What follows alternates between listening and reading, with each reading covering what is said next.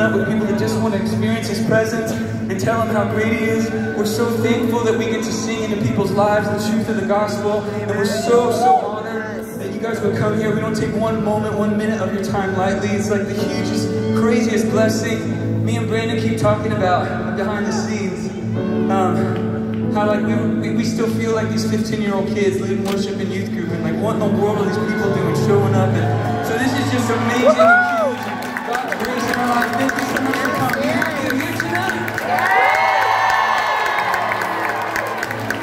anybody else really sweaty already like me? So it doesn't even matter. We're all sweaty. We're all gonna stink together. So now you can just go ahead and worship as hard as you want to, okay? I'm pretty excited about leading this song because uh, this next song is um, it was birthed in this city. Changed my life. That's It's crazy how God gives you songs in the middle of a season or before even a season you're, you're headed into Yes. as a country, as, as a world. And man, so many uh, situations that quite literally or seemingly look like death. But how many, how many of you know our God specializes in resurrection? There's nothing he can't do. So since this is a song of this city, I need y'all to sing it with all the Chris Stapleton you got in your voice, every bit of grit. Own this song, all right?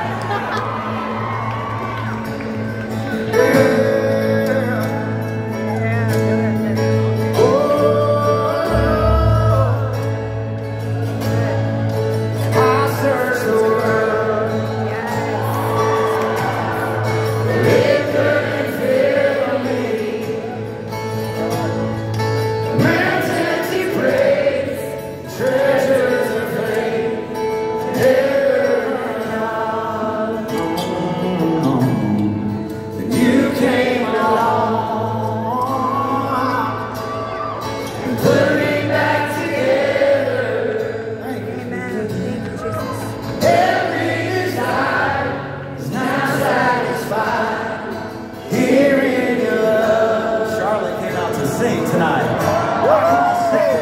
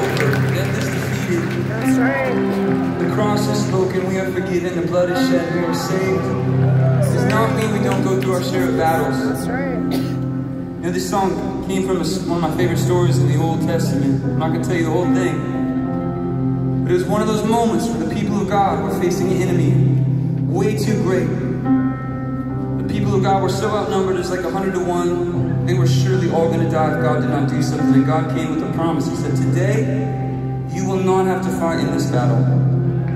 Stand firm and hold your position in faith, and you will see the salvation of the Lord on your behalf. What a promise to give. But you know what?